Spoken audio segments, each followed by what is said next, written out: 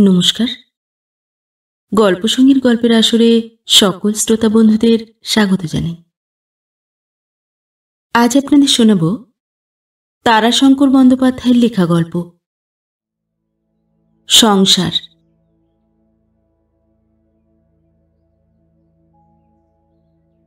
বৃদ্ধ বয়সে দাম্পত্য কলহ, কৌতুক এবং হাসির কথা। কিন্তু প্রেমের দেবতা চিরদিনই অবুজ কিশোর। স্থান, কাল, পাত্র লইয়া কোনো বিবেচনা বা বিচার করা তাহার প্রকৃতির বহির্ভূত। পঞ্চান্ন বৎসরের সরকার গৃহিণী, ষাট বৎসরের বৃদ্ধ স্বামীর উপর দুর্জয় অভিমান করিয়া বসিলেন গোপনে নয়, একেবারে প্রকাশ্যে। উপযুক্ত ছেলে বউ এবং এক ঘর নাতি নাতনির সমক্ষে অভিমান ঘোষণা করিয়া গাড়ি আনাইয়া বাপের বাড়ি চলিয়া গেলেন। ছেলে বউয়েরা কেহ কিছু বলিতে পারিল না। বড় নাতনি সদ্য বিবাহিতা কমলা কিন্তু থাকিতে পারিল না। সে মুখে কাপড় দিয়া খিলখিল করিয়া হাসিয়া উঠিল। সরকার গিন্নি গম্ভীরভাবে প্রশ্ন করিলেন, হাসছিস যে বড়? কমলা হাসিতে হাসিতেই বলিল, একটা ছড়া মনে পড়ল ঠাকুমা। ভ্রু কুঞ্চিত করিয়া গিন্নি বলিলেন, ছড়া? হ্যাঁ শিব দুর্গার সেই ছড়া। সেই যে মর মর মর বাঙর বুড়ো, তোর চোখে পড়ুক ছানি, বাপের বাড়ি চললুম আমি, বলেন দুর্গা রানী। কোলে লয়ে কার্তিক, হাঁটায়ে গণপতি, রাগ করে চলিলেন অম্বিকে পার্বতী। তা বাবাকে কাকাকে নিয়ে যাও। নাতনির এ রহস্য সহাস্য মুখে তিনি গ্রহণ করিতে পারিলেন না। বুকে বরং আঘাতই লাগিল। রহস্যের উত্তর পর্যন্ত তিনি দিতে পারিলেন না। শুধু কমলার মুখের দিকেই নীরবে চাহিয়া রহিলেন। সে দৃষ্টির ভাষাতেই কমলা নিজের ভুল বুঝিতে পারিল। সে তাড়াতাড়ি কাছে আসিয়া একান্ত অনুতপ্ত মিনতিপূর্ণ কণ্ঠেই বলিল, রাগ করলে ঠাকুমা ম্লান হাসি হাসিয়া তাহার চিবুক স্পর্শ করিয়া গিন্নি বলিলেন, তোর উপর কি রাগ করতে পারি ভাই? কমলি আবার রসিকতা করিয়া ফেলিল। চুপি চুপি বলিল, বর অদল বদল করো ঠাকুমা, আমার সে ভারী অনুগত বর, তুমি খুশি হবে, আমি একবার বুড়োকে দেখি তাহলে। এবার ঠাকুমা হাসিয়া ফেলিলেন।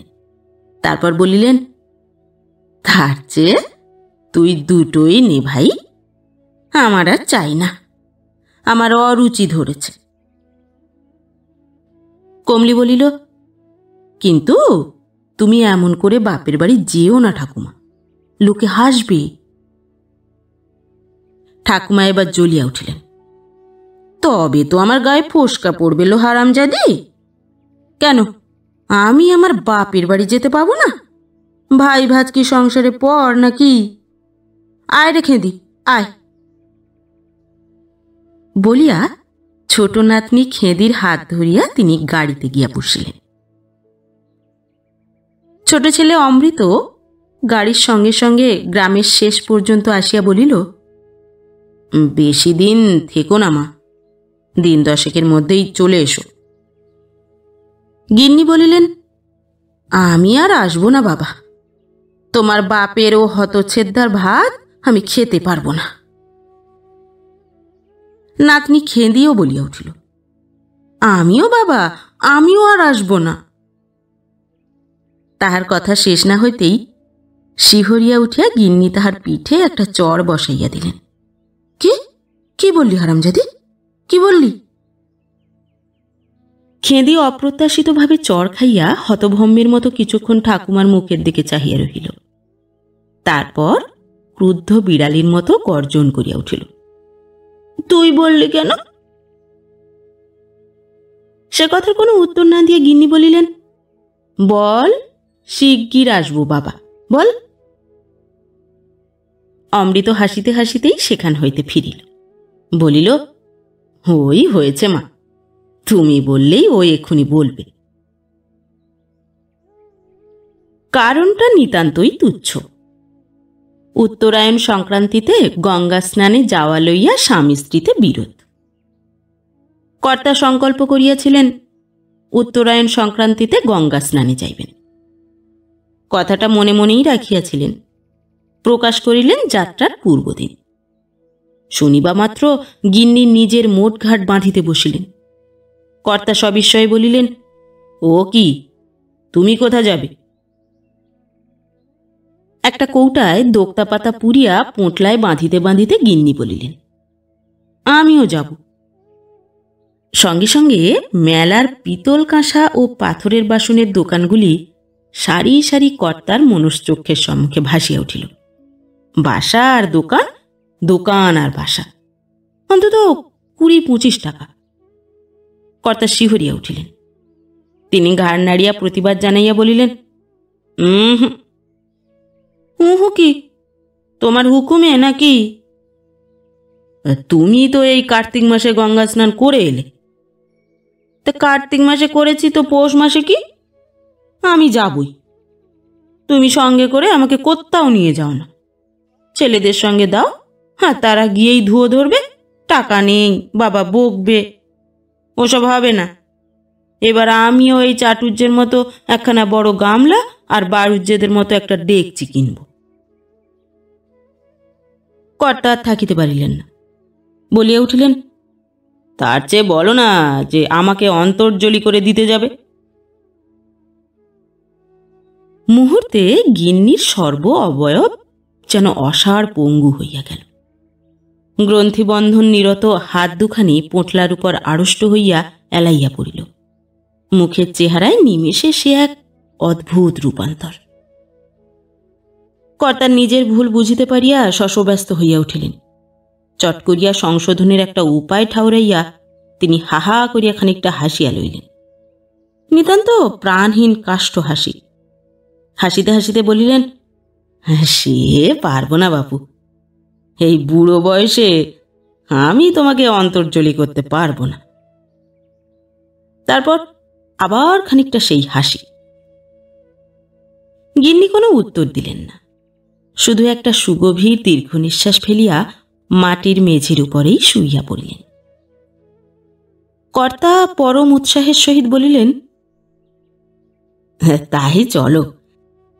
গাঁট ছড়া বেঁধে গঙ্গা স্নান করতে হবে কিন্তু। তখন কিন্তু লজ্জা করলে শুনব না। কত বাসনই কেন তাই আমি একবার দেখব। তবুও কোনো উত্তর নাই। কর্তার বুকের ভিতরটা একটা দারুণ অস্বস্তির উদ্বেগে হাঁপাইয়া উঠিতেছিল। পা দুইটা যেন মুহূর্তে মুহূর্তে দুর্বল হইয়া আসিতেছে। যাই দেখি। তাহলে দুখানা গাড়ি সাজাতে বলি। একখানা গাড়িতে জিনিসপত্র আসবে। বড় গামলা ও দুখানা কেনাই ভালো। একখানাতে ডাল, একখানাতে ঝোল। তা বটে। বাসন কতগুলো সত্যিই দরকার। বলিতে বলিতেই তিনি পলাইয়া আসিলেন। খানিকটা পাড়ার চাটুর্যদের সঙ্গে গল্পগুজব করিয়া ফিরিয়া আসিয়া শুনিলেন, গিন্নি পণ করিয়াছেন এ বাড়ির অন্ন আর তিনি গ্রহণ করিবেন না। বাপের বাড়ি যাইবেন। এ বাড়িতে থাকিবার দিন তাহার নাকি শেষ হইয়াছে। দাম্পত্য প্রেমে মানুষকে যেমন কাণ্ডজ্ঞানহীন করে, এমন আর কিছুতে পারে না। সরকার কর্তা গম্ভীর প্রকৃতির লোক। গ্রামের মধ্যে মাননীয় ব্যক্তি। সেই কর্তা দাম্পত্য কলহের দিশা হারাইয়া সেই রাত্রে শয়নকক্ষে মুখ ঢাকিয়া একখানা গামছা বাঁধিয়া বসিয়া রহিলেন। মনে মনে ঠিক করিয়া রাখিয়াছিলেন। গিন্নি দেখিয়া নাক বাঁকাইয়া কারণ জিজ্ঞাসা করিলেই তিনি গান ধরিয়া দিবেন। এ পোড়ার মুখ হেরবে না বলে হে, আমি বিদেশিনী সেজেছি। হঠাৎ পৌত্রী কমলা আসিয়া ঘরে প্রবেশ করিল। তাহার এই মূর্তি দেখিয়া সে একটু চকিত হইয়াই বলিল ও মাগো ও কি? কর্তা আজ যেন একেবারে ছেলে মানুষ হইয়া গিয়াছেন। কমলার এই আতঙ্ক দেখিয়া কৌতুকে খিলখিল করিয়া হাসিয়া তিনি বলিলেন, আমি ভূত। কমলি শিয়া মেয়ে সে ব্যাপারটা সঠিক না বুঝিলেও আভাসে খানিকটা অনুমান করিয়া লইল। সেও খিলখিল করিয়া হাসিয়া বলিল, তা ভূত মশাই আপনি খিল দিয়ে শুয়ে পড়ুন। আপনার পেতনি আসবেন না। আমার কাছে শুয়েছেন। কর্তা মুখের গামছাখানা টানিয়া খুলিয়া ফেলিয়া দিশাহারার মতো চাহিয়া রহিলেন। তাহার মনের মধ্যেও দারুণ অস্বস্তি। বুকের ভেতরটা এক অসহনীয় উদ্বেগে অহরহ পীড়িত হইতেছে। সহসা তাহার ইচ্ছা হইল নিজের গালেই তিনি ঠাস ঠাস করিয়া কয়েকটা চর বসাইয়া দেন। তারপর রাগ হইল গিন্নির উপর। কি এমন তিনি বলিয়াছেন যে কচি খুকির মতো এমন ধারা রাগ করিয়া বসিল বুড়ি? তিনি আর থাকিতে পারিলেন না। নির্জন ঘরে সুবিধা পাইয়াই বোধহয় অকস্মাৎ গিন্নির উদ্দেশ্যে দুই হাত নাড়িয়া মুখ ভেঙাইয়া উঠিলেন। হ্যাঁ কচি খুকি আমার। গলায় দড়ি দিগ্গে এক গাছ লজ্জাও নেই। হ্যাঁ। পরদিনই গিন্নি বাপের বাড়ি রওনা হইয়া গেলেন ছেলে বউ, নাতি নাতনি কাহারও কথা শুনিলেন না। কেবল ছোট ছেলের মেয়ে খেঁদি তাহাকে ছাড়িল গিন্নিও তাহাকে ছাড়া থাকিতে পারেন না। সেই সঙ্গে গেল। বহির্বাটিতে কর্তা তখন বাড়ির কৃষাণদের সঙ্গে এক তুমুল কাণ্ড বাঁধাইয়া তুলিয়াছেন। রাগে তিনি যেন আগুনের মতো জ্বলিতেছিলেন। দিন পাঁচেক পরেই বৃদ্ধ সরকারকর্তা শ্বশুরালয়ে আসিয়া উপস্থিত হইলেন। সঙ্গে গাড়িতে এক গাড়ি বোঝাই করা বাসন। গিন্নি চলিয়া যাবার পর তিনিও রাগ করিলেন। মনে মনে ঠিক করিলেন, গঙ্গা স্নানে যাইবেন। এবং আর তিনি ফিরিবেনই না। গঙ্গা তীরেই একখানা কুটির বাঁধিয়া জীবনের অবশিষ্টাংশ কাটাইয়া দিবেন। পরদিনই তিনি গঙ্গা স্নানে রওনা হইলেন। সঙ্গে গোপনে টাকাও লইলেন অনেকগুলি।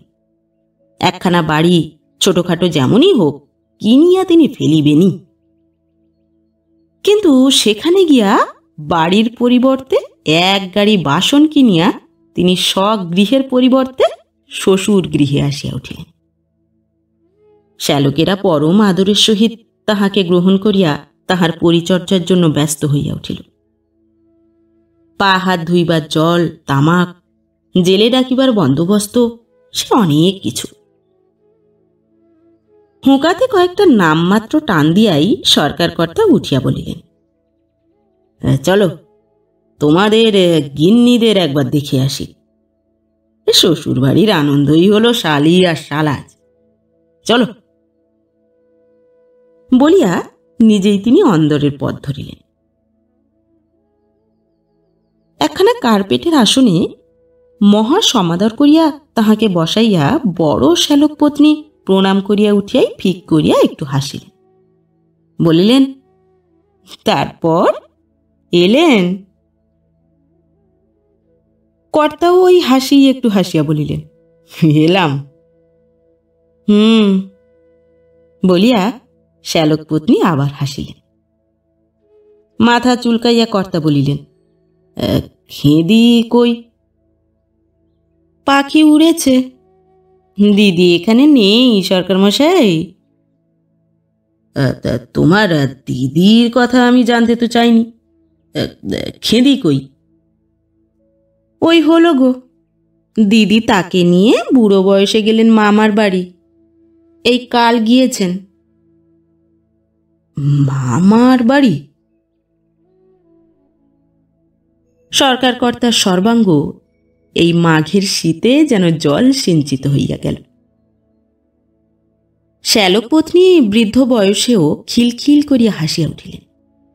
তারপর ডাকিলেন ও গো ও দিদি নেমে এসো না ভাই। কর্তার বুকে যে তোমার খিল ধরে গেল গো।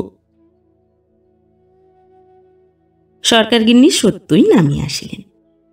কিন্তু কর্তাকে একটি কথাও না বলিয়া ভাজকে বলিলেন, তোমার কি কোনো আক্কেল নেই বউ? ছে, উপযুক্ত ছেলে বউ কি সব ভাবছে বলো তো? ঠিক এই মুহূর্তটিতেই খেঁদি একেবারে লাভ দিতে দিতে আসিয়া বাড়ি ঢুকিল। ওরে বাবা রে দাদু এক গাড়ি বাসন এনেছে। এই বড় বড় গামলা, এত বড় ডেকচি, গেলাস, বাটি, কত কত। সে দাদুর গলা চড়াইয়া পিঠের উপর ঝুলিয়া পড়িল। শ্যালক পত্নী বলিলেন, সব তোমার ঠাকুর মায়ের। তোমার জন্য খটখট লবডঙ্কা। খেঁদি এবার পিঠ হইতে কোলে আসিয়া বসিয়া বলিল হ্যাঁ আমার জন্য কি এনেছো হ্যাঁ? সরকার কর্তা গিন্নির দিকে একবার চাহিয়া লইয়া মৃদুস্বরে গান করিয়া বলিলেন, তোমার জন্যে একখানা নয়না এনেছি হে, আর একখানি কিরুনি এনেছি। বলিয়া পকেট হইতে ছোট্ট একখানি আয়না ও চিরুনি বাহির করিয়া দিলেন। খেঁদি বলিল, যা, এ যে আয়না চিরুনি নয়না কিরুনি কেন হবে? ইয়া বড় বড় হলেই আয়না চিরুনি আর এ হলো নয়না আর কিরুনি আর? না, এ ছাই, আমি নেব না। ঠাকুর মায়ের জন্য কত এনেছো তুমি? এবার ঠাকুরমা লজ্জিত হইয়া বলিলেন, এনেছে এনেছে, তোর জন্য অনেক এনেছে। একটু থাম। মানুষকে একটু জিরুতে দে কর্তা পুলকিত হইয়া বলিলেন, বাক্সটা নামিয়ে আনতে বলো। কথা শেষ না হইতেই খেঁদি ছুটিল। বাক্স বাক্স। কর্তা আবার বলিলেন, বাসনগুলো নামাতে বল। গামলা কিনেছি চারখানা, দেখছি বড় বড় দুটো। বাধা দিয়া গিন্নি বলিলেন নামি আর কি হবে? বাড়িতেই নামাবে একেবারে। খাওয়া দাওয়া করেই চলে যাও। বলিয়াই তিনি উপরে চলিয়া গেলেন। অকুল সমুদ্রে কর্তার হাত হইতে যেন অকস্মাৎ লব্ধ কাষ্ঠখণ্ডটি আবার ভাসিয়া গেল। শ্যালক পত্নী হাসিয়া বলিলেন, কঠিন ব্যাপার সরকার মশাই সরকার কাতস্বরেই বলিলেন কি করি বলো দেখি ভাই। উপর হইতে প্রশ্ন হইল, বলি, নন্দাইকে জল টল খেতে দাও, না আমদি করবে? উমা, বলিয়া জিপ কাটিয়া শালক পত্নী ব্যস্ত হইয়া ডাকিলেন। বৌমা, ও বৌমা, কি আক্কেল তোমাদের বাপু, ছি। বৌমার অপরাধ ছিল না, সে প্রস্তুত হইয়াই ছিল। জলখাবারের থালা হাতে সে বাহির হইয়া আসিল। কথাটা চাপা পড়িয়া গেল। তখনকার মতো চাপা পড়িলেও শেষ পর্যন্ত শ্যালক পত্নী মধ্যস্থ হইয়া স্বামী স্ত্রীর একটা আপোষ করিয়া দিলেন। সরকার মশাইকে তিনি প্রতিজ্ঞা করাইয়া লইলেন, দেখুন কথার খেলাপ করবেন না তো? তিন সত্যি করুন আপনি। তিন সত্যি করছি গো আমি। আনব আনব। এক বছরের মধ্যেই আমি হরিদ্বার পর্যন্ত তীর্থ করিয়া আনব। সরকার গিন্নি বলিলেন, যে কথা তুমি বলেছ আমাকে, তার জন্য আমাকে একশো আটটি সদবা ভোজন করাতে হবে এক মাসের মধ্যে। বেশ তাই হবে। নতুন বাসনে একটা কাজ হয়ে যাক। শ্যালক পত্নী বিনা বাক্য ব্যয়ে এবার হাসিতে হাসিতে সরিয়া পড়িলেন। সরকার গিন্নি বলিলেন, তুমি সাক্ষী থাকো ভাই, কই বউ? হাসিয়া সরকার বলিলেন, চলে গিয়েছেন তিনি। বাহির পর্যন্ত দেখিয়া আসিয়া সরকার গিন্নি বলিলেন, বলি, তোমার আক্কেলটা কীরকম শুনি? রাজ্যের বাসন নিয়ে যে একেবারে এখানে চলে এলে এখানে সমস্ত ছেলের হাতে আমাকে একটি করে বাটি নয়, গেলাস দিতে হবে। সেটের কোলে পনেরো ষোলোটি ছেলে। কোনো আক্কেল নেই তোমার? সরকার বললেন, বেশ তো গো, আবার তোমাকে কিনে দিলেই তো হলো। পরদিনই সরকার মহাশয় গৃহিণীকে লইয়া বাড়ি ফিরিলেন। গাড়িতে উঠিবার সময় গিন্নি আবার বলিলেন, দেখো এক বছরের মধ্যে তুমি নিজের সঙ্গে করে হরিদ্বার পর্যন্ত তীর্থ করিয়া আনবে তো? আবার সরকার প্রতিশ্রুতি দিলেন। আনব আনব আনব। কিন্তু আপত্তি তুলিল ছেলেরা। প্রবল আপত্তি করিয়া বড় ছেলে বলিল, বেশ তো, যাবেন আর কয়েক বছর পরে। আমরা সব বুঝে সুঝে নিই। সরকার কর্তা গৃহিণীর দিকে চাহিয়া বলিলেন, শোনো, পঁয়ত্রিশ ছত্রিশ বছরের উপযুক্ত ছেলের কথা শোনো একবার। তারপর ছেলেকেই বলিলেন, এই দেখো, আমার তখন পঁচিশ বছর বয়স। পঁচিশ নয়, পুরো চব্বিশ। এই নামে পঁচিশ। সেই বয়সে আমি বাপ মাকে কাশিবাস করিয়েছিলাম। দেখলাম বাবার শরীর খারাপ। চিঠি লিখে কাশিতে বাড়ি ভাড়া করলাম। বাবা কিছুতেই যাবেন না। আমি জোর করে নিয়ে গেলাম। ভালো স্থান, ভালো খাবেন, ভালো থাকবেন। বিশ্বনাথ দর্শন করবেন। কোথায় এ সংসার পঙ্কে ডুবে এই গোষ্পদে পড়ে থাকবেন? শেষ সময়ে বাবা দুহাত তুলে আমাকে আশীর্বাদ করেছিলেন। আর তোরা এই বলছিস? তাও আমরা চিরদিনের মতো যাইনি। এই মাস দুয়েক পরেই ফিরব।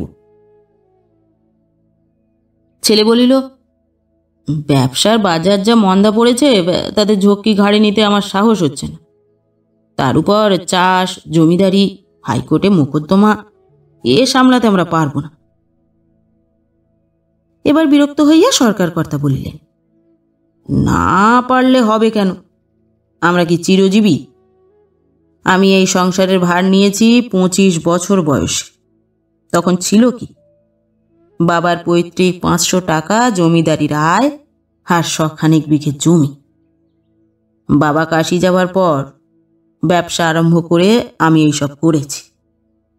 বাবা কিছুতেই ব্যবসা করতে দেবেন না, আমিও ছাড়ব না। তাকে কাশিতে রেখে এসেই আমি ব্যবসা করেছিলাম। তোদের মতো ভয় করলে হতো এইসব? না বাপের আঁচল ধরে বসে থাকলে হতো। ছেলে এবার বাধ্য হইয়া বলিল, তবে যান। কিন্তু কিছুক্ষণ পরেই আবার সে বলিয়া উঠিল কিন্তু আবার কিন্তু তুলিস কেন? কিন্তু কিসের? টাকা করির বড় টানাটানি চলছে। কোথা থেকে যে টাকা আপনাদের দেব তাই ভাবছি। মাস তিনেক পরে বাধা দিয়া সরকার কর্তা বলিলেন, টাকা করি কিছু লাগবে না বাবা, তোমাদের টাকা আমি নেব না, তীর্থের টাকা সে আমার কাছে আছে। হাসিয়া ছেলে বলিল হ্যাঁ আমাদের টাকা? বিষয় সম্পত্তি সংসার আমাদের না আপনার? এবার সরকার গিন্নি বলিলেন সংসার তোমাদের বই কি বাবা? ছেলে মেয়ে, ঘর তোর সবই এখন তোমাদের। আমরাও এখন তোমাদের ছেলে মেয়ের স্বামী। কর্তা বরং বলিলেন, না না, তা বললে হবে কেন? যতদিন আমরা আছি, ততদিন ঝড়ঝাপটা আমাদেরই মাথায় নিতে হবে বই কি বাপ মায়ের আড়াল হলো পাহাড়ের আড়াল। যাক, ইহার পর আর কোনো বাধাই হইল না। উদ্যোগ আয়োজন করিয়া সরকার কর্তা শুভ দিনে গৃহিণীকে লইয়া তীর্থযাত্রা করিলেন। ট্রেনে উঠিয়া মনটা কেমন করিয়া উঠিল। ছেলেরা, ছোট ছোট নাতি নাতনিরা, প্ল্যাটফর্মের উপর কেমন বিষণ্ন দৃষ্টিতে তাহাদের দিকে চাহিয়া দাঁড়াইয়া রহিয়াছে। ঘরদার দেখা যায় না, কিন্তু গ্রাম প্রান্তের গাছপালাগুলির শ্যামলতার উপরেও কেমন যেন উদাসীনতার ছাপ পড়িয়াছে। সরকার গিন্নি জোর করিয়া হাসিয়া বলিলেন, বোধ করি সকলকে লক্ষ্য করিয়াই বলিলেন। এই তো কটা দিন, দু মাসে ষাট দিন। কর্তা গম্ভীরভাবে বলিলেন, খুব হুঁশিয়ার বাবা, যে কাজ করবে, বেশ করে ভেবে চিনতে বরং সঙ্গে সঙ্গে আমাকে চিঠি লিখে দেবে। আমি যেখানে যাব, ঠিকানা আগে থেকে জানাব। ট্রেনটা ইতিমধ্যেই চলিতে আরম্ভ করিয়াছিল। কর্তা ব্যস্ত হইয়া বলিলেন, না না, এমন করে ট্রেনের সঙ্গে ট্রেন গতি সঞ্চয় করিতে করিতে বাহির হইয়া গেল। বড় ছেলে বলিল, একটা কথা জিজ্ঞেস করতেই পারলাম না ছাই। কনিষ্ঠ উদ্বিগ্ন হইয়া উঠিল, কি? এই কোথায় কি রইল? মানে সবই তোমার বাবার খাতায় আছে। বাবার কাজ বড় পরিষ্কার। ঠোঁট মচকাইয়া বড় ভাই কহিল, খাতায় সে নেই, তাহলে আমি জানতাম। বাবা মা দুজনের কাছেই টাকা আছে, সেসব হিসেবের বাইরের পুঁজি। সেদিন বললেন মনে নেই? ছোট ভাই ভ্রু তুলিয়া চক্ষু বিস্ফারিত করিয়া বলিল হ্যাঁ বটে। কিছুক্ষণ চিন্তা করিয়া আবার সে বলিল মানুষের শরীর। প্রথমেই সরকার দম্পতি কাশিতে নামিলেন। বাসায় উঠিয়া কর্তা হাসিয়া বলিলেন যাক তিন সত্যির দায় থেকে মুক্ত হলাম। বাপ মুখ ফসকে একটা কথা বলে কি তার প্রাশ্চিত্তির গিন্নি বেশ বড় বড় পেয়ারা কিনিয়াছিলেন। ছোট বঁটি পাতিয়া একটা পেয়ারা কাটিতে কাটিতে বলিলেন প্রাশ্চিত্তি তীর্থ করার নাম প্রাশ্চিত্তি আর তোমরা বলো, মেয়েদের মতো সংসারের মায়া আর কোনো জাতের নেই। টাকা টাকা আর বিষয় বিষয়। পুরুষের মতো নরুকে জাত আবার আছে নাকি? আমি মলে ঠিক আবার তুমি বিয়ে করবে। কর্তা বলিলেন, উত্তর দিতাম, কিন্তু কে ফ্যাসাতে পড়ে সে কথা বলে? হয়তো এবার সশরীরে স্বর্গ ঘুরিয়ে আনতে সত্যি করতে হবে। গিন্নি নাসিকা কুঞ্চিত করিয়া বলিলেন, আর তো কিছু জানো না? শুধু কুটকুট করে কথা কইতেই যান। না এখন মুখে দাও কিছু। বলিয়া শ্বেত পাথরের একখানি রেকাবিতে কিছু ফল ও মিষ্টি সাজাইয়া নামাইয়া দিলেন। কর্তা বলিলেন, এটা? রেকাবিখানার দিকে অঙ্গুলি নির্দেশ করিয়া তিনি প্রশ্ন করিলেন, বাড়ি থেকে এনেছ বুঝি? পথে ঘাটে সব জিনিস ভেঙে যায়। বিরক্ত হইয়া গিন্নি বলিলেন, বাড়ি থেকে আনে নাকি? কিনলাম এখুনি। বিক্রি করতে এসেছিল। তুমি বাজারে গিয়েছিলে, তখনই এসেছি। কর্তা এক টুকরো ফল মুখে তুলিয়া বলিলেন, হুম। কিছুক্ষণ পর সহসা তিনি বলিলেন, দেখো, একটা কথা তোমায় বলি। একখানা বাড়ি এখানে ভাড়া করে ফেলি। আর শেষ কটা দিন এখানেই কাটিয়ে দেওয়া যাক। বহুদিন থেকেই আমার সংকল্প। তবে যদি বলো, কই? কখনো তো বলনি। সে বলিনি নানা কারণে। সংসারটা একটু গুছিয়ে ছেলেদের হাতে দিয়ে তারপর যাব এই মনে ছিল। কিন্তু এসেছি যখন, তখন আর নয়। কি বলো তুমি? এক দৃষ্টে শূন্যের দিকে যেন ভবিষ্যতের গর্ভের মধ্যে দৃষ্টি প্রসারিত করিয়া গৃহিণী বলিলেন কথা তো ভালোই। কিন্তু ছেলেরা এখনও তেমন সক্ষম হলো কই? দেখলে তো, আসবার সময় কি কাকুতি বেচারাদের। তারপর সহসা প্রবল বেগে ঘাড় নাড়িয়া হুড়হুড় করিয়া বলিয়া উঠিলেন, না বাপু, খেঁদির বিয়ে আর বড় নাতির বিয়ে, এ না দেখে সে হবে না। অতপর তর্ক বিতর্ক করিয়া স্থির হইল দুই মাসের স্থলে ছয় মাস অন্তত থাকিতে হইবে। ছয় মাস পরে আগামী মাঘ মাসে প্রয়াগে কুম্ভযোগ। কুম্ভযোগে ত্রিবেণী সঙ্গমে স্নান করিয়া বাড়ি ফেরা যাবে। আপাতত তীর্থগুলি ফিরিয়া কাশিতে আসিয়াই বাস করাই স্থির হইল। কর্তা একখানা ছোটখাটো বাড়িও কয়েক মাসের জন্য ভাড়া করিয়া ফেলিলেন। কিন্তু সাবিত্রী তীর্থে গিয়া পাহাড়ে উঠিতে উঠিতে গিন্নি বিদ্রোহ করিয়া উঠিলেন। না বাপু, আমাকে তুমি দেশে রেখে এসো। বাতের যন্ত্রণায় মরে গেলাম। বেলের ধর্মরাজতলা আমাকে যেতেই হবে। আর ছেলেদের মুখ মনে পড়ছে আমার। কর্তা হাসলেন। বলিলেন, আজই লিখে দিচ্ছি। ধর্মরাজের তেল আর ওষুধের কথা। কাশি গিয়েই পাবে। বসে বসে মালিশ যতবারও করো না। গিন্নি বলিলেন, তুমি আমাকে ঘরে ফিরতে দেবে না দেখছি। কর্তা হাসিয়া বলিলেন, বেশ তো, পুত্র, পৌত্র, স্বামীর কোলে, একেবারে কাশীর গঙ্গা জলে, সে তো ভালোই হবে। একটা গভীর দীর্ঘ নিঃশ্বাস ফেলিয়া গিন্নি বলিলেন হ্যাঁ তেমনি ভাগ্যে কি আমার হবে? তেমন পুণ্যি কি এমন করেছি বলো? কখনো তুমি মনের স্বাদ মিটিয়ে ব্রত পার্বণ করতে দিয়েছ? আমার আবার ওই ভাগ্যের মরণ নাকি হয়? কিন্তু আপনার অজ্ঞাতসারে গিন্নি সে পুণ্য সঞ্চয় করিয়াছিলেন। মহাকুম্ভযোগে ত্রিবেণী সঙ্গমে স্নানান্তে গিন্নি কলেরায় আক্রান্ত হইয়া পড়িলেন। কর্তা বলিলেন, গিন্নি, কাকে দেখতে ইচ্ছে হয় বলো, আসতে টেলিগ্রাম করে দিই। দেখতে? একটা গভীর দীর্ঘ নিঃশ্বাস ফেলিয়া গিন্নি স্বামীর মুখের দিকে চাহিয়া বলিলেন, পারলে না নিয়ে যেতে? তারপর আবার বলিলেন, না, থাক কাউকেই আসতে হবে না। বড় খারাপ রোগ। তুমি সদ্গতি করবে আমার। সাবধানে থেকো। টপ টপ করিয়া কয়েক ফোঁটা জল কর্তার চোখ দিয়া গড়াইয়া পড়িল। এবার গিন্নি হাসিলেন। বলিলেন, বুড়ো বয়সে কেঁদো না। ছি, আমার লজ্জা করছে।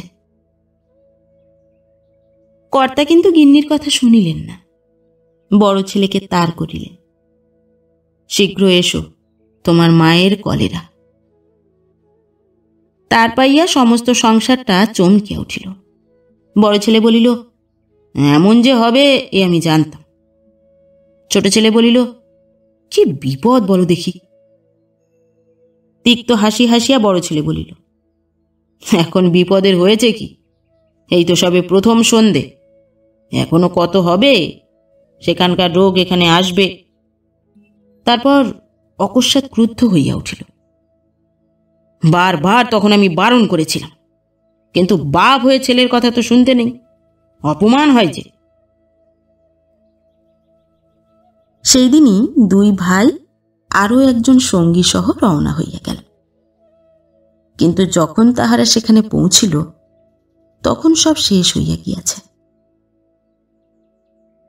বাসার যে ঘরে সরকার দম্পতি ছিলেন, সে ঘরখানা শূন্য পড়িয়া রহিয়াছে। বাসার প্রায় সকলেই সরিয়া পড়িয়াছে। যে কয়জন ছিল, তাহারা বলিল, বুড়ি মেয়েটি মরেছে কাল সকালে। বুড়ো ভদ্রলোকটি চেষ্টা চরিত্র করে তার গতি করে এলেন দুপুরবেলা। সেই দুপুরবেলা থেকেই তাঁরও আরম্ভ হল। তারপর মশাই, অপরে কে কার মুখে জল দেয় বলুন? তবু সেবা সমিতিতে খবর একটা দেওয়া হয়েছে। তাও কেউ এলো না। তারপর রাত্রে দেখলাম ভলেন্টিয়ার এসে কাঁধে করে নিয়ে গেল। কোন সমিতির ভলেন্টিয়ার বলতে পারেন? কে জানে মশাই। দরজার ফাঁক দিয়ে দেখলাম ভলেন্টিয়ার। ওই পর্যন্ত। আমরাও আজ মোটঘাট বেঁধেছি। এই দুপুরের ট্রেনেই ফিরব। তাহারা যাত্রার আয়োজনে ব্যস্ত হইয়া উঠিল। অশ্রুসজল নেত্রে দুই ভাই, ত্রিবেণী সঙ্গমে পিতামাতা উভয়ের তর্পণ সারিয়া গলায় কাছা পরিয়া বাড়ি ফিরিল। সঙ্গে রাজ্যের জিনিসপত্র। এলাহাবাদ ও কাশীর বাসায় গিন্নি বিহঙ্গিনীর মতো এক একটি করিয়া সঞ্চয় করিয়াছিল। সমারোহ সহকারেই শ্রাদ্ধ শান্তি হইল। ছেলেরা ত্রুটি কিছু করিল না। কিন্তু নিন্দুকে বলিল করবে না তো কি? এক খরচে দুটো, একটা খরচ তো বেঁচে গেল। কথাটা শুনিয়া বড় ছেলে বলিল, দুটোই করব আমরা। বৎসর কৃত্যতে এই খরচই আমরা করব। বাবা মা তো আমাদের অভাব রেখে যাননি কিছুর? সত্য কথা। সরকার কর্তা রাখিয়া গিয়াছেন প্রচুর। এই সেদিনও কর্তাগিন্নির ঘরের মেঝে খুঁড়িয়া চার হাজার টাকা ছেলেরা পাইয়াছে। দুই ভাই পরামর্শ করিয়া ব্যবসাটা বাড়াইবার সংকল্প করিল। তিন দিন ধরিয়া গভীর আলোচনার ফলে ব্যবসায়ের পরিধি পরিবর্ধনের একটা পরিকল্পনা প্রস্তুত করিয়া বড় ভাই বলিল, বেশ হয়েছে, বুঝলি? আমার তো মনে হয় এর চেয়ে ভালো আর কিছু হতে পারে না। ছোট ভাই বলিল বাবা কিন্তু এতে মত দিতেন না। ওই চেয়ার টেবিল নিয়ে শহরে আপিস করা, তার মানে ইংরেজি জানতেন না তিনি। বড় বড় বিজনেস সার্কেলে মেশবার ক্ষমতা ছিল না তা তার উপর তাহার মুখের কথা মুখেই থাকিয়া গেল। সর্বাঙ্গ থরথর করিয়া কাঁপিয়া উঠিল। রাত্রি ও দিনের মধ্যবর্তী জবনিকাটা ছিঁড়িয়া গিয়া যেন একটা অকল্পিত আলোকে পৃথিবীর রূপ পরিবর্তিত হইয়া যাইতেছে। ছোট ভাই একটা অস্ফুট আর্তনাদ করিয়া বসিয়া পড়িল। বাড়ির সম্মুখে রাস্তার উপর একখানা গরুর গাড়ি হইতে ধীরে ধীরে সন্তর্পণে নামিতেছেন কর্তার কঙ্কাল, তার প্রেত মূর্তি। দুই ভাইকে দেখিয়াই দুরন্ত ক্রোধে থরথর করিয়া কাঁপিতে কাঁপিতে সে মূর্তি অস্বাভাবিক হইয়া উঠিল। পাষণ্ড, কুলাঙ্গার, আমি। কথা শেষ হইল না। প্রেতমূর্তি পথের ধুলার উপরেই সশব্দে লুটাইয়া পড়িল। গাড়োয়ানটা তাড়াতাড়ি সে দেহখানি তুলিয়া বলিল, জল আনেন গো, জল! ভিড়মি গেছেন গো। জল জল! এতক্ষণে বড় ছেলের সংজ্ঞা ফিরিয়াছিল। সে তাড়াতাড়ি অগ্রসর হইয়া চিৎকার করিল, জল জল, শিগগিরই জল আর পাখা, শিগগির! প্রেত নয় রক্ত মাংসের দেহধারী মানুষই। সরকার কর্তাই দুরন্ত কলেরার আক্রমণ হইতে বাঁচিয়া সশরীরে ফিরিয়া আসিয়াছেন। বলিবার ভুল এবং বুঝিবার ভুলে এমনটা হইয়া গিয়াছে। ভলেন্টিয়ারে তাহার সব দেহ লইয়া যায় নাই। রোগাক্রান্ত অবস্থাতেই তাহাকে হাসপাতালে লইয়া গিয়াছিল। কয়েকদিন অচেতন থাকিয়া চৈতন্য লাভ করিবার পর তিনি সংবাদ লইয়াছিলেন, কেহ আসিয়াছে কিনা। কিন্তু কেহ আসে নাই শুনিয়া তিনি আর কোনো কথা বলেন নাই, পরিচয় দেন নাই, জিনিসপত্রের খোঁজ করেন নাই। এমনকি আপনার রোগের যন্ত্রণার কথা পর্যন্ত জিজ্ঞাসা করিলে বলেন নাই। তবু তিনি বাঁচিলেন। হাসপাতাল হইতে বাহির হইয়া মাটির পৃথিবীর সংস্পর্শে আসিয়া কিন্তু তাহার অন্তর গর্জন করিয়া উঠিল। তিনি ত্যায্যপুত্র করিবার সংকল্প লইয়া গৃহে ফিরিয়া আসিয়াছেন। চেতনা লাভ করিয়া ছেলেদের এই অনিচ্ছাকৃত ভুলের কথা শুনিয়া কর্তা নির্বাক হইয়া রহিলেন। গ্রামের পাঁচজনে আসিয়া জমিয়াছিল। কর্তার সমবয়সী বৃদ্ধ চাটুর্য বলিলেন, যাক, যা হয়েছে তা হয়েছে। এখন ধরাধরি করে বাড়ির ভেতর নিয়ে যাও। ভালো করে সেবা যত্ন করো, ডাক্তার টাক্তার ডাকাও। কর্তা বলিলেন, না, বাড়ির মধ্যে আর আমি যাব না। আমি কাশি যাব। যতক্ষণ আছি, এইখানেই বেশ আছি আমি। বেশ তো এই বাইরের ঘরেই বিছানা করে দাও। সে বরং ভালোই হবে। ছেলেপিলের গোলমাল কচকচি কিছু থাকবে না। বলো, বিছানা করে দিতে বল। বিছানায় শুইয়া কর্তার চোখে জল আসিল। পাশেই পৌত্রী কমলা তাহাকে বাতাস করিতেছিল। কম্পিত কণ্ঠস্বর যথাসম্ভব স্বাভাবিক করিয়া কর্তা তাহাকে বলিলেন, জানিস কমলা তোর ঠাকুমায়ের বাড়ি ফিরে আসতে বড় স্বাদ ছিল। আমি আর তিনি বলিতে পারিলেন না। শুধু ঠোঁট দুইটি থরথর করিয়া কাঁপিতে লাগিল। কমলা পাকা গিন্নির মতো আপনার আঁচল দিয়া কর্তার চোখের জল মুছিয়া দিয়া বলিল, সে আর আপনি কি করবেন বলুন? আপনি তো ভালোই করতে গিয়েছিলেন। নিয়তির উপর তো কারোর হাত নেই।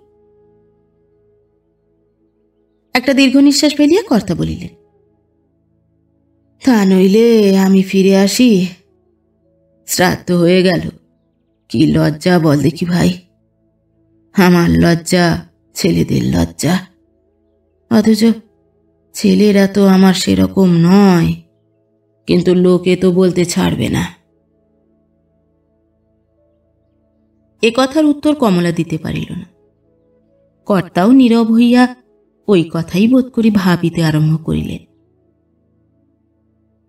সহসা তাহার চোখে পড়িল, ছোট একটি দামাল ছেলে বহির্বাটি ও অন্দরের মধ্যবর্তী দরজাটার উপরে বসিয়া পরম গম্ভীরভাবে এক টুকরা মাটি লইয়া ভক্ষণ করিতেছে। লালা সিক্ত মৃত্তিকা চিত্রিত মুখখানি দেখিয়া তিনি না হাসিয়া পারিলেন না। কিন্তু কে এটি? কমলাও মুখ ফিরাইয়া দেখিয়া হাসিয়া ফেলিল, ও মাগো কি খাচ্ছ গাঁটটারা হ্যাঁ? সন্দেশ খাচ্ছ? কেমন লাগছে বাবু? ঝাল? সঙ্গে সঙ্গে খোকা মাটিটা ফেলিয়া হু হু করিতে আরম্ভ করিল। কমলা হাসিতে হাসিতে বলিল, ফাঁকামো দেখলেন? ওটি কার ছেলে? উমা চিনতে পারছেন না আমাদের গাঁটটারামকে ছোট কাকার ছোট কোকা হ্যাঁ? ওটা এত বিজ্ঞ হয়েছে এর মধ্যে। হ্যাঁ নান হ্যাঁ ওকে দেখি একবার। আমরা যখন যাই তখন এইটুকু ছিল রে। কর্তা এবার উঠিয়া বসিলেন। বলিলেন "হ্যাঁ, সব ছেলেদের ডাক তো। হ্যাঁ দেখি সব মশাইরা কে কত বড় হয়েছেন। নাতিরা ভিড় করিয়া জমিয়া বসিল। তাহাদের পিছন পিছন এতক্ষণে বধুরা আসিতে সাহস পাইল। তারপর আসিল ছেলেরা। অপরাহ্নে কর্তা লাঠি ধরিয়া ঘর দোর সব ঘুরিয়া দেখিলেন। তাহার নিজের শয়নঘরে ঢুকিয়া তিনি স্তম্ভিত হইয়া দাঁড়াইয়া গেলেন। এ কি?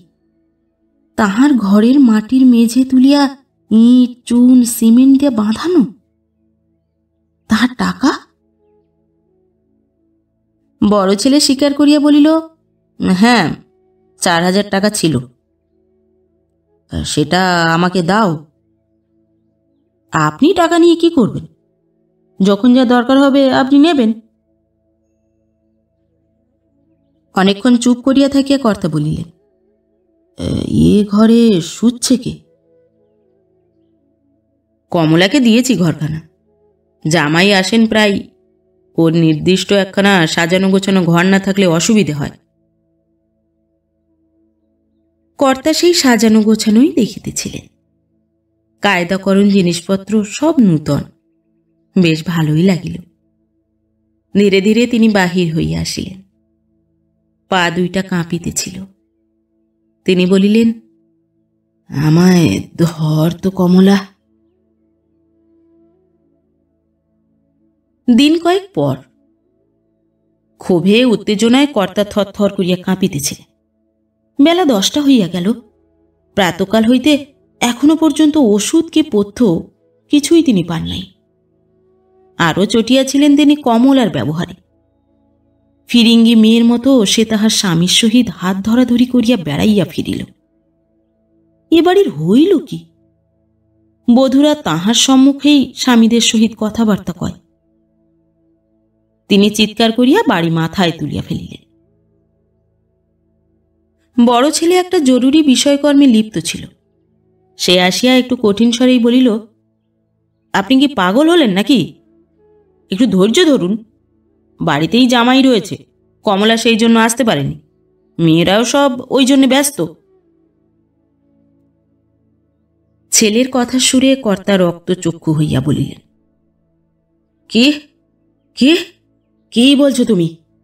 আমার মুখের উপর তুমি কথা কও। কমলা লজ্জিত মুখে ঔষধ ও পথ্য লইয়া ঘরে প্রবেশ করিয়া হাসি মুখে বলিল, আমায় বকুন দাদু আমারই তো দোষ। যান বাবা আপনি কাজে যান। কমলার পিতা চলিয়া গেল। কমলা আবার বলিল রাগ করেছেন দাদু? কর্তা বলিলেন কতটা বেলা হলো হিসেব আছে। তারপর ঔষধ ও পথ্য সেবন করিয়া অকস্মাৎ তিনি লজ্জিত হইয়া পড়িলেন।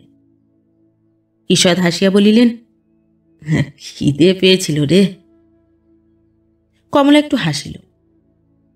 বৃদ্ধ এবার রসিকতা করিয়া বলিলেন খরটা বুঝি ছাড়েনি নতুন গিন্নি? বলিতে ভুলিয়াছি, পিতামহ পৌত্রীর নামকরণ করিয়াছেন নতুন গিন্নি। কমলা লজ্জিত হইয়া বলিল, কি যে বলেন আপনি? সে প্রস্থানের উদ্যোগ করিল। কর্তা বলিলেন, কাউকে একটু ডেকে দিয়ে যাস তো ভাই। এই খেদি পটল কি যে কেউ হোক। হ্যাঁ বসে একটু গল্প টল্প করি। কমলা চলিয়া গেল। কর্তা দুয়ারের দিকে চাহিয়া বসিয়া রহিলেন। বহুক্ষণ কাটিয়া গেল, কিন্তু কেহই আসিল না। ক্লান্ত হইয়া কর্তা শুইয়া পড়িলেন। নানা কল্পনা ও চিন্তার মধ্যে সহসা তাহার মনে হইল ব্যবসায়ের অবস্থাটা একবার নিজে তাহার দেখা দরকার। বড় ছেলেটির মতিগতি বড় ভালো নয়। শহরে আপিস করিবে। তাহার উপর আজিকার কথাবার্তা তাহার ভালো লাগে নাই। একখানা ঘর তাহার বিশেষ প্রয়োজন। বেশ, ছোটখাটো ঘর একখানি অবিলম্বেই আরম্ভ করাইতে হইবে। একখানা উইল কমলাকে কিছু তিনি দিবেনি ছেলেদের নামে পাওয়ার অব অ্যাটর্নি দেওয়া আছে। সেখানা অবিলম্বে বাতিল করিয়া দেওয়া উচিত। ছেলেদের ডাকিয়া সমস্ত পরিষ্কার করিয়া লইবার সংকল্প লইয়া উৎসাহের সহিত তিনি আবার উঠিয়া বসিলেন। শরীর, অনেকটা বল তিনি ইহার মধ্যেই পাইয়াছেন। ইহার পর একবার কোনো স্থানে চেঞ্জে গেলেই তিনি পূর্ব স্বাস্থ্য ফিরিয়া পাইবেন। অপরাহ্নে ছেলেরা নিজেরাই আসিয়া উপস্থিত হইল। গম্ভীর হইয়া দৃঢ়স্বরে তিনি বলিলেন, এসো, বসো এইখানে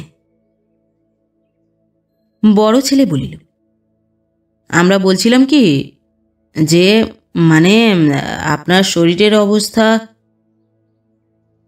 বাধা দিয়া কর্তা বলিলেন, ও চেঞ্জে গেলেই সেরে যাবে। হ্যাঁ আমরাও সেই কথা বলছিলাম। গঙ্গা তীরে অথবা কোনো তীর্থে গেলে ধরুন, আপনার বয়সও হয়েছে, তার মানে? কর্তার ভিতরটা যেন কেমন করিয়া উঠিল। সমস্ত দিনের সঞ্চিত মনের শক্তি এক মুহূর্তে যেন কোন বৈদ্যুতিক শক্তি স্পর্শে বিলুপ্ত নিঃশেষিত হইয়া গেল। বড় ছেলে বলিল, দেখুন, ভুল যখন হয়েছেই তখন তো আর উপায় নেই। কিন্তু শ্রাদ্ধ শান্তি যখন হয়েই গেছে, তখন মানে প্রবীণ লোক বলছে সব, আর আপনার বাড়িতে থাকা ঠিক নয়। কাটোয়ার গঙ্গা তীরে আমরা একখানা ঘরও ঠিক করেছি। কাটোয়া এই কাছেই। সপ্তাহে সপ্তাহে আমরা একজন যাব, বামুন একজন থাকবে। ছেলে বলিয়াই চলিয়াছিল। কর্তা বিহবলের মতো চারিদিকে একবার চাহিয়া ছেলের কথার মধ্যেই বলিলে বেশ। কথা বলিতে ঠোঁট দুইটি তাহার থরথর করিয়া কাঁপিয়া উঠিল। কথা শেষ হইবার পরও সে কম্পন শান্ত হইল না। কিন্তু তাহা কাহারও দৃষ্টিপথে পড়িল না। ঠিক এই সময়টিতেই কমলা সর্বাঙ্গে মশিলিপ্ত চিত্রিত বদন গাঁট্টারামকে দুই হাতে ঝুলাইয়া লইয়া প্রবেশ করিল। দেখুন, ভূত দেখুন। দুই ভাই সেই মূর্তি দেখিয়া হাসিয়া আকুল হইয়া গড়াইয়া পড়িল।